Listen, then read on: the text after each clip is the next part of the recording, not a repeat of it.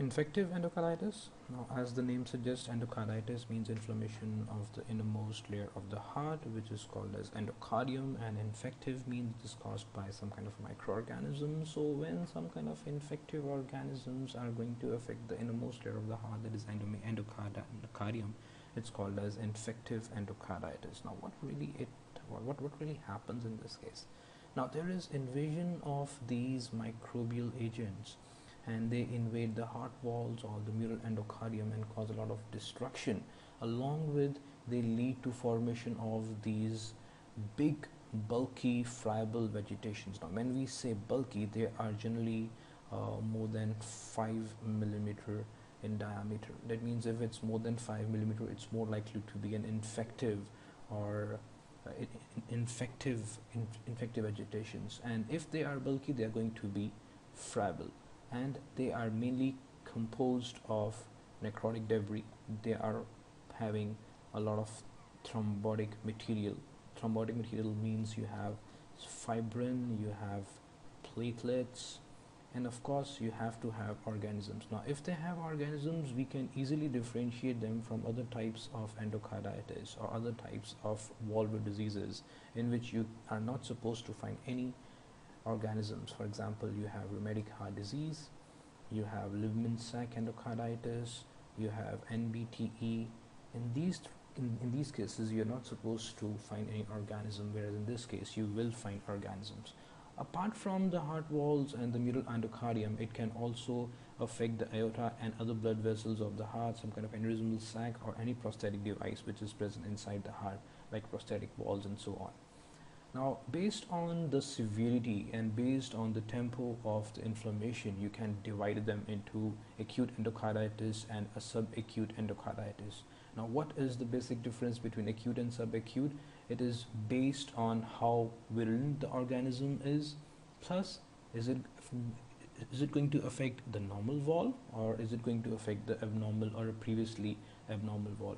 If it's acute endocarditis you the, the, the, patients are infected by a highly virulent organism. And if the virul if the organism is highly virulent it is going to affect a previously normal wall. So, so that means if there is something is not is normal it it can only be destroyed by a highly virulent organism. But if something is previously abnormal even even a low virulent organism can cause damage to the heart so when it, it is caused by high virulent organism and affects the normal wall, it's called as acute endocarditis, which is a very very severe disease and causes death within days to weeks.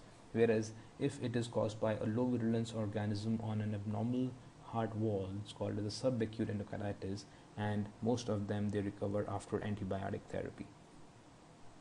Now, as we have already discussed, if it affects the normal walls, we call it an acute endocarditis but in some cases it may also affect abnormal walls and those abnormal walls are the walls which can be seen in rheumatic heart disease.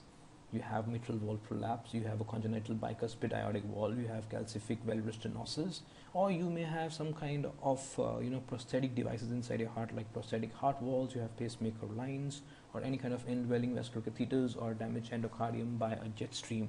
Whenever you have such kind of thing that this is a, uh, it is a stream of a, a, a jet of blood which is damaging the endocardium, it becomes a nice foci of formation of, uh, of bacterial seeding. There are some risk factors like neutropenia, immunodeficiency, malignancy, diabetes mellitus, alcohol, or intravenous drug abuses.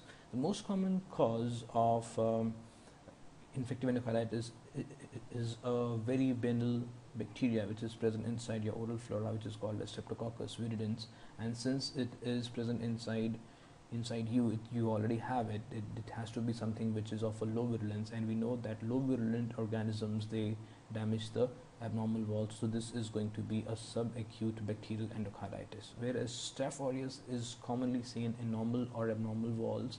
And it is also one of the most common causative organism in intravenous drug abuses there is an, another category called as HACEK which is an anagram of these uh, uh, five bacteria which are again a normal oral flora they are again something which is having a low virulence so that means they are also going to cause SABE as compared to ABE so you have H. influenza, Actinobacillus, Cardiobacterium, Eikenella and Kingella plus fungi, Rickettsia, Q fever, the, one, the, the ones which can cause Q fever, chlamydia, gram-negative infections, all those things can also, enterococci, they all can lead to infective endocarditis. Now, what could be this source of infection? It could be a very trivial trauma. It could be something which is happening inside your your.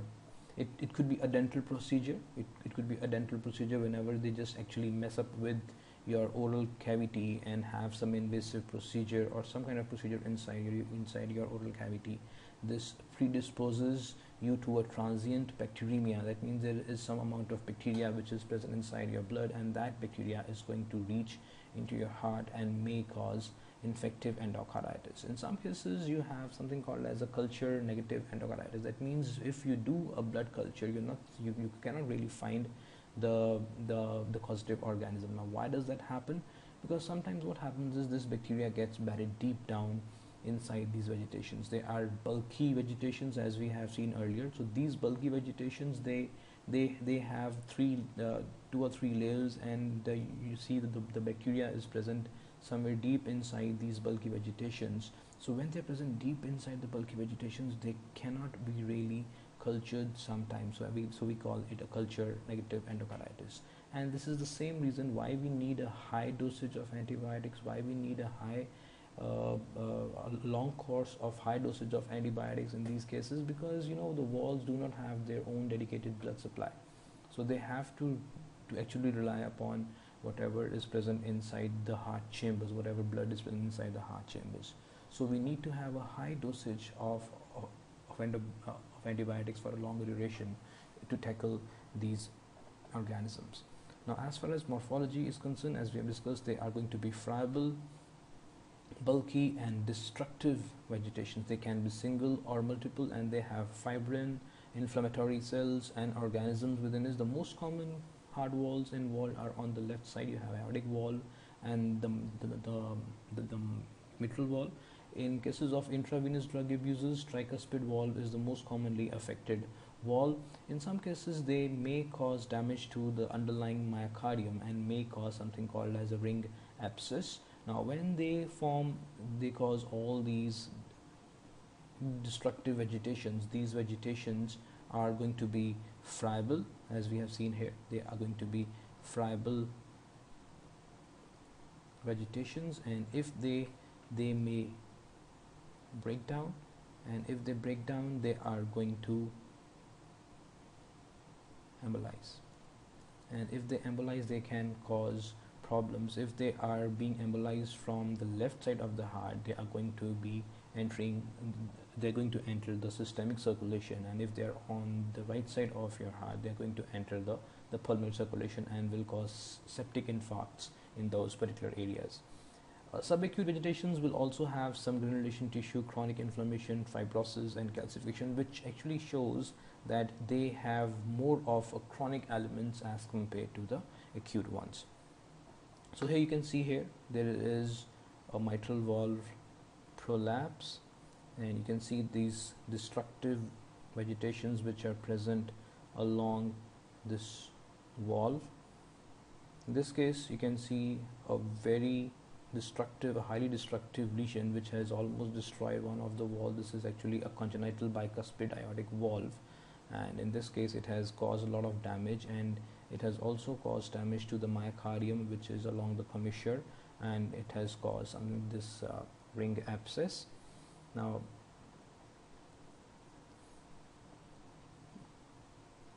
clinical features are mainly if it's acute fever, chills, weaknesses. If it's subacute, they may have some vague flu-like symptoms like slight fever, fatigue, loss of weight, some joints pain, and uh, murmurs can be seen.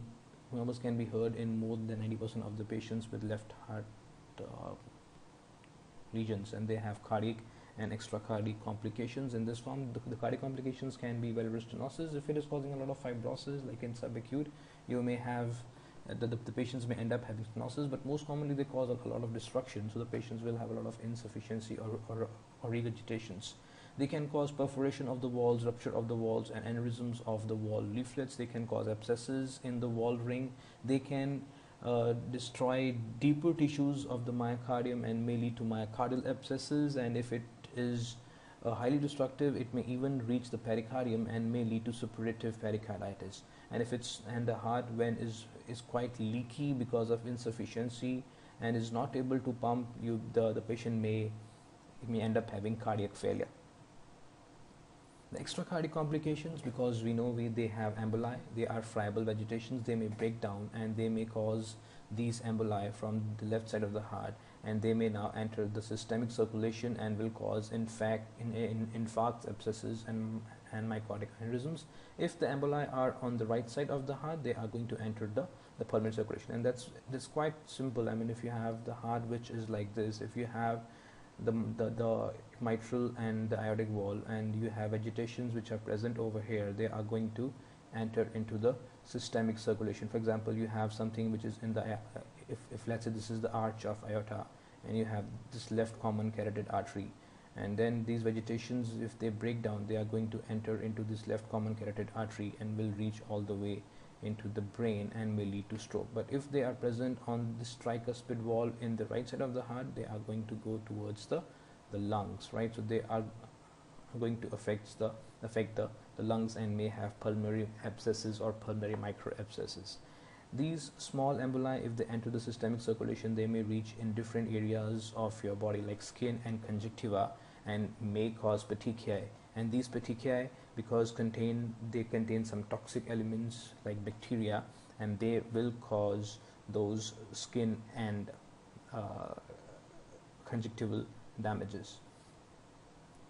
In some cases they may cause these painful tender nodules on the fingertips of the hands or toes of the feet and they are called as Osler's node that means something which is palpable are nodes. They are called as Osler's nodes something which is non-palpable. They are non-tender painless maculopapular lesions on the pulp of the fingers. They are called as Janeway spots or Janeway lesions. On the nail uh, uh, on the nail beds these people have splinter hemorrhages in the retina. If you do a fundoscopy you can see Roth spots which are whitish uh, spots on the uh, which, which can be seen under fundoscopy if they go all the way into the kidneys and they may incite an immune reaction and these immune complexes may get entrapped inside the kidneys and may lead to hematuria, albuminuria and renal failure in some cases and which is focal-necrotizing glomerulonephritis. This is Duke's criteria and you can see this double M, M and three small m's and five small M's. These are actually two major, one major and three minor or five minor. So these are those major and minor criteria. The, the major criteria means when you have a positive blood culture of the, of that organism, you have a positive echocardiographic findings, you have a new valvular regurgitations, they are the, the major criteria. But if you have a predisposing heart lesion, fever, acute phase reactants like increased ESR or CRP, they are uh, uh, you have vascular lesions like arterial petechiae, you have sublingual splinter hemorrhages, emboli, septic infarcts, mycotic aneurysm, uh, aneurysms, intracranial hemorrhages, Janeway lesions, immunological phenomena, microbial evidence, echocardiac finding, cardiac findings consistent with but not diagnostic of endocarditis. All these come under the, the minor criteria. So if you have two major criteria, the criteria are met for infective endocarditis. If you have one major and three three minor any three of them or you have five minor criteria you can call the thing as infective endocarditis. So you can see those splinter hemorrhages are present here. These are the the Roth spots. These are those lesions which can be painful. They are called as Osler nodes. They can be present here which which look something like this. They can be called as Janeway lesions. So with this we end our topic on infective endocarditis